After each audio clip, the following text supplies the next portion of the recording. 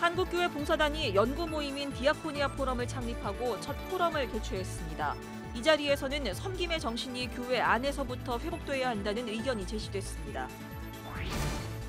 대한예수교장로회 통합총회가 교단 사상 처음으로 공명선거 지킴이를 구성했습니다. 전국의 노회에서 파송받은 지킴이 134명은 불법 선거 감시에 들어갑니다. 종교개혁 500주년을 기념해 나부터 작은 실천을 다짐하는 나부터 캠페인이 교회와 사회를 넘어 정치권으로도 확산되고 있습니다. 정세균 국회의장에 이어서 바른정당 이해운 대표도 동참했습니다. 지난 3월 화재로 내부가 모두 불탄 인천의 노숙인 재활용센터가 다섯 달이 지나도록 사실상 방치돼 있습니다. 센터와 지역교회는 화재 복구를 위한 바자회를 여는 등 복구에 안간힘을 쓰고 있습니다. 여러분 안녕하십니까? CBS 뉴스입니다. 한국교회봉사단이 연구 모임인 디아코니아 포럼을 창립하고 첫 포럼을 개최했습니다. 이 자리에서는 섬김의 정신, 디아코니아 정신이 교회 안에서부터 회복돼야 한다는 지적이 나왔습니다. 천수현 기자입니다. 섬김을 뜻하는 디아코니아. 개신교는 사회봉사와 이웃섬김에 가장 앞장서고 있지만 사회적 신뢰도는 낮고 부정적 이미지는 높아가고 있습니다.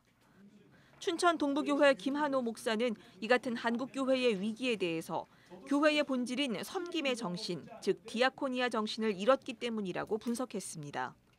김 목사는 우선 권위적이고 수직적인 교회의 직제와 예배 문화를 지적했습니다. 하나님의 아들에서 사람이 되시고 시대의 약자를 초대해 그들을 섬겼던 예수 그리스도의 디아코니아 정신을 교회 안에서 먼저 실천해야 한다면서 수평적 관계 회복을 강조했습니다. 특히 교회가 함께 연대해야 할 대상은 교회 밖에 있는 소외되고 연약한 이들임을 분명히 했습니다. 약자와 예수님은 교회 공동체 밖의 사람하고 연대하기를 원했는데 실제로 초기 교회도 교인들끼리 끼리끼리 연대를 하려고요. 김 목사는 한국 교회가 그동안 디아코니아의 사회 봉사적 측면만 강조해 왔다면서 디아코니아가 교회 안에 성내전 가운데서도 이루어져야 한다는 점을 일깨웠습니다. 한편 한국교회 봉사단은 지난해 열린 제3회 사회복지 엑스포 디아코니아 코리아에서 활동했던 교수협력단을 중심으로 디아코니아 포럼을 창립했습니다. 당시 기독교 사회복지의 현실과 방향성을 학문적, 이론적으로 정립했던 학자들이 지속적인 연구의 필요성을 인식하고 모임을 만들었습니다. 제가 4차가 3년 뒤에 있습니다. 그래서 그것을 어떻게 하면 더 실질적으로 잘할 수 있을까? 우리 교회와 우리 사회에 어떤 좋은 여파를 줄 수 있을까에 대해서 연구하는 모임입니다. 포럼은 앞으로 사회복지와 관련된 학자, 목회자, 기관 사역자 등으로 참여자를 확대하고 연간 두세 차례 모임을 가지며 교회 연합 봉사 사업의 논의를 심화시킬 계획입니다. CBS 뉴스 천수연입니다. 대한예수교장로회 통합총회가 교단 사상 처음으로 공명선거 지킴이를 구성했습니다. 예장통합총회는 오늘 공명선거 실천 결의대회를 개최하고 공명선거에 최선을 다하기로 했습니다. 이순규 기자의 보도입니다. 예장통합총회가 교단 사상 처음으로 공명선거 지킴이를 선정했습니다.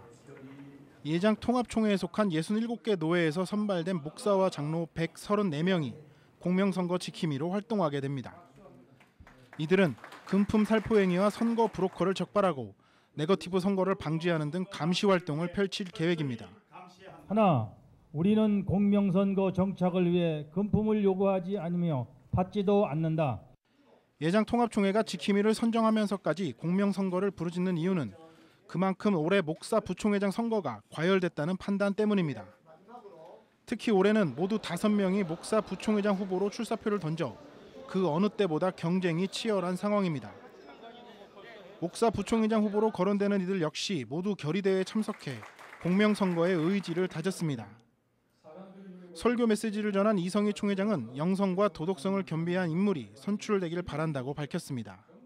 특별히 우리 교회가 발전하고 또 하나님의 교회가 우리 하나님의 교회 어, 어, 바른 모습을 보이기 위해서는 어, 정말 어, 예루살렘 교회처럼 영성적이고 도덕적인 인물을 뽑아서 세워주게 될 때에 그 어느 선거보다 깨끗하게 치러져야 할 목사 장로들의 선거인 만큼 그 과정과 결과에 세간의 이목이 집중되고 있습니다. CBS 뉴스 이승규입니다. 종교개혁 500주년을 기념해 나부터 작은 실천을 다짐하는 나부터 캠페인이 정치권으로도 확산되고 있습니다. 정세균 국회의장의 참여에 이어 바른정당 이해훈 대표도 캠페인에 동참했습니다. 이빈나 리포터입니다. 얼마 전 바른정당 당대표로 선출된 이해운 의원. 그동안 보수교계를 대변하는 입법활동과 교계 행사에 활발히 참여해왔던 기독교인 이해운 대표가 나부터 캠페인에 동참했습니다. 이 대표는 앞서 정치권 최초로 나부터 캠페인에 참여한 정세균 국회의장의 추천을 받았습니다. 이해운 대표는 건강한 보수와 생산적인 국회를 만들기 위한 매우 중요한 역할을 맡게 되었는데 잘 해주시기를 바라는 마음에서 추천하고요. 정 의장의 바통을 이어받아 이해운 대표가 다짐한 실천 사항은 나부터 역지사지입니다. 나부터 역지사지 하겠습니다. 정치가 꽉 막혀 있는데 상대방의 입장에 대해서 역지사지 한다면 우리 정치도 술술 풀려서 국민들이 편안해지지 않을까 생각합니다. 이 대표는 지금의 여당은 과거 야당이었을 때를 잊고 야당은 과거 여당이었을 때를 잊은 채 서로를 향해 무조건적인 반대 입장만 내세우고 있다며 상대방의 입장에서 헤아려 볼 수 있는 정치권이 되자고 말했습니다. 또 자신도 상대방의 입장에서 한 번 더 생각하는 사람이 되겠다고 다짐했습니다. 이 대표는 캠페인을 이어갈 다음 주자로 문재인 대통령을 추천했습니다. 서로 본인이 옛날에 어떻게 했든지 지금 현재의 상대방 입장이 되어서 생각해 보면 답이 나올 것 같습니다. 그래서 저는 이 역지사지, 나부터 역지사지 하겠습니다 하는 나부터 코너의 다음 순서를 우리 문재인 대통령께 드리고 싶습니다. 나부터 시작하는 작은 실천으로 한국 교회와 사회를 새롭게 하기 위한 나부터 캠페인. 교계를 넘어 정치 사회 전반의 개혁 운동으로 확산되는 분위기입니다. CBS 뉴스 이빈나입니다. 지난 3월 화재로 내부가 모두 불탄 인천의 노숙인 재활용 센터가 화재 복구를 위한 바자회를 여는 등 안간 힘을 쓰고 있습니다. 송주혜 기자입니다. 장맛비가 오락가락하던 지난 주말 인천 해인교회 앞마당은 바자회 준비로 분주합니다.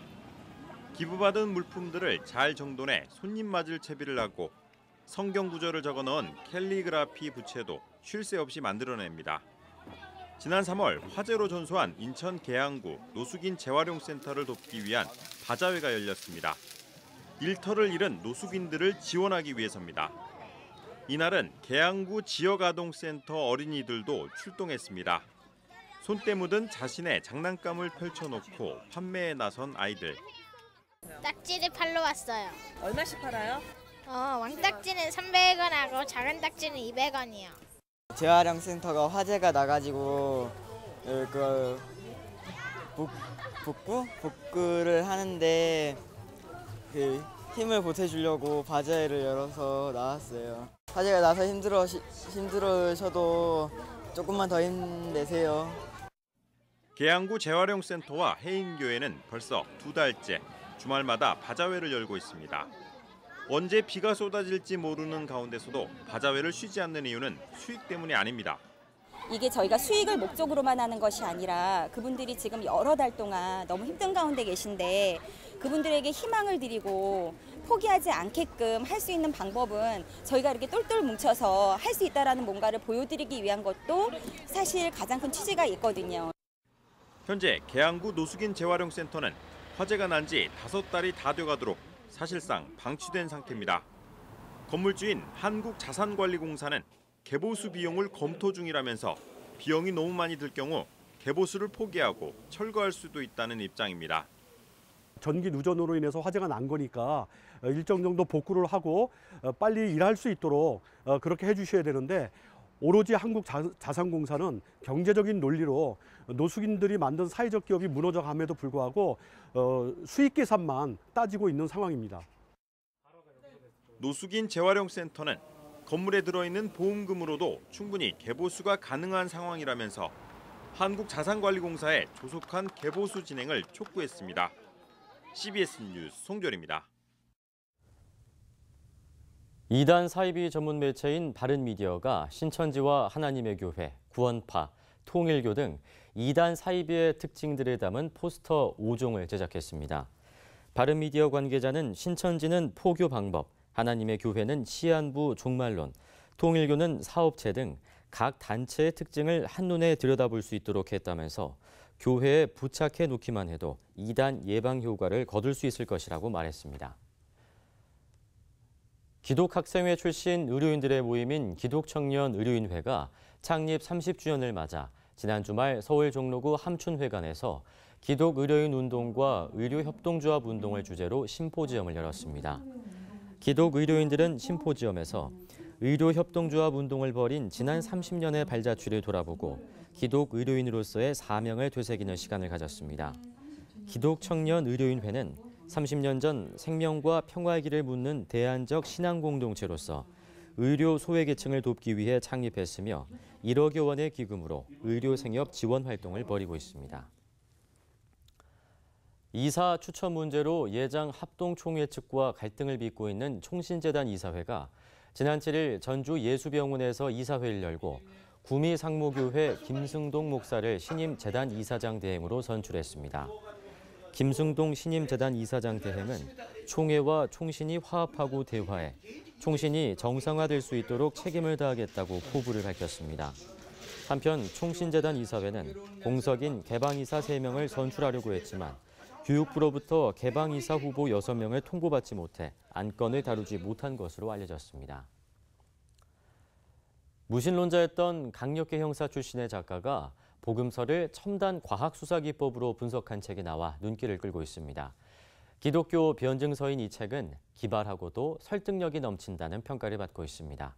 새로 나온 책 이사라 리포터입니다. 무신론자였던 강력계 형사가 외심해 복음서의 역사성과 사실성을 증명한 책입니다.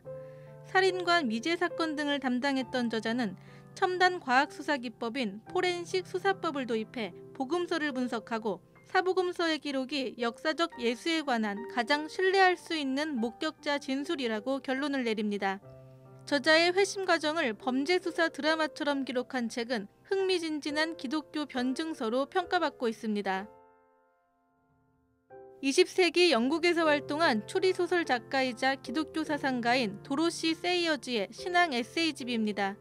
저자는 현대교회가 신뢰를 잃은 까닭은 신학으로부터 도망쳤기 때문이라며 기독교 교리와 문학적 상상력의 중요성을 강조합니다. 초등학생부터 중고등학생을 위한 교리 교육서입니다. 기독교 신앙 고백의 표본이라 불리는 웨스트민스터 신앙 고백의 소요리 문답 내용을 어린이와 청소년의 눈높이에 맞춰 편집했습니다. 기본 교리편과 주기도문, 십계명편으로 나뉘어 있고 학생용과 교사용으로 구성되어 있습니다. CBS 뉴스 이사라입니다.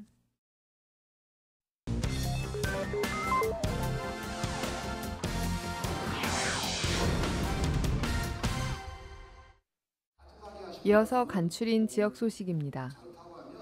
대전 CBS 천안시 운영이사회가 천안 하늘샘교회 이성수 목사를 제2대 회장으로 추대했습니다.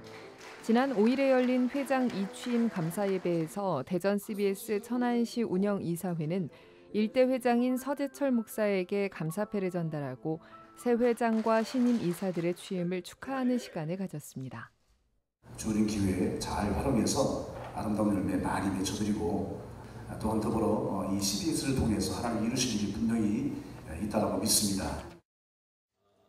한국 기독교 공직자 선교연합회 소속인 세종청사 기독선교연합회가 지난 6일 분당 만나교회 김병삼 목사를 초청한 가운데 정부 세종청사 맥추감사 연합 예배를 드렸습니다.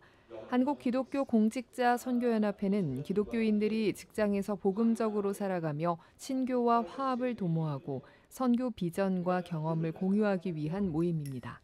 우리 21개 이 세종청사에 있는 모든 그 연합회가 모여서 하나님을 찬양하고 또 하나님의 그 크신 뜻을 저희가 또 새롭게 마음을 다짐하는 이런 중요한 행사입니다. 청주 강서교회는 전교인 전도 축제 일환으로 스토리 콘서트를 열었습니다. 이번 콘서트에는 개그우먼 박미선 권사와 탤런트 이광기 집사가 초청돼 자신의 삶과 해외 선교 봉사 사역을 이야기하며 하나님의 사랑과 나눔을 간증했습니다. 청주 강서교회 정원교 목사는 함께 나누고 기도하는 것이 얼마나 소중한 삶인지 깨닫는 소중한 시간이 됐으면 좋겠다고 말했습니다. 패밀리타임 부부교실 세미나 원주 설명회가 지난 7일 원주 양문교회 북카페 위드에서 열렸습니다. 원주 지역 크리스천 부부의 올바른 가정 사역을 권장하기 위해 마련된 이날 세미나에는 끝까지 잘 사는 부부의 저자 홍장빈 목사가 강사로 나서 하나님은 아내의 마음이 남편에게, 남편의 마음은 아내에게 있기를 바라신다며 성경적인 부부 사랑법을 강의했습니다.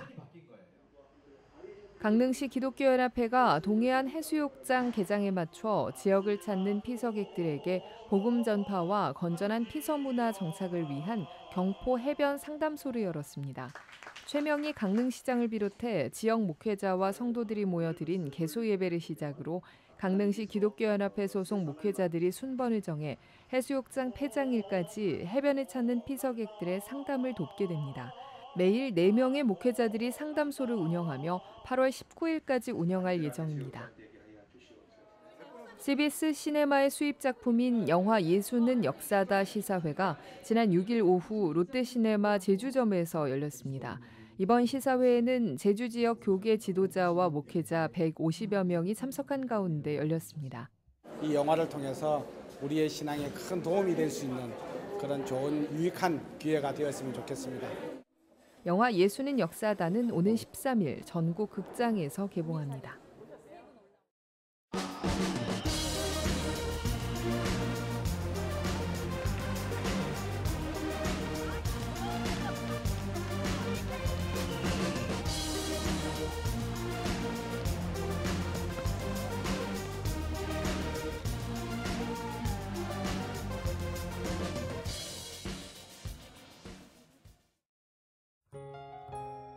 날씨입니다. 내일은 전국이 흐리고 비가 내리다가 중부지방을 시작으로 오후에 대부분 그치겠습니다. 낮 최고 기온은 29도에서 35도의 분포를 보이겠습니다. 이상으로 CBS 뉴스를 마칩니다. 평안한 밤 보내시기 바랍니다.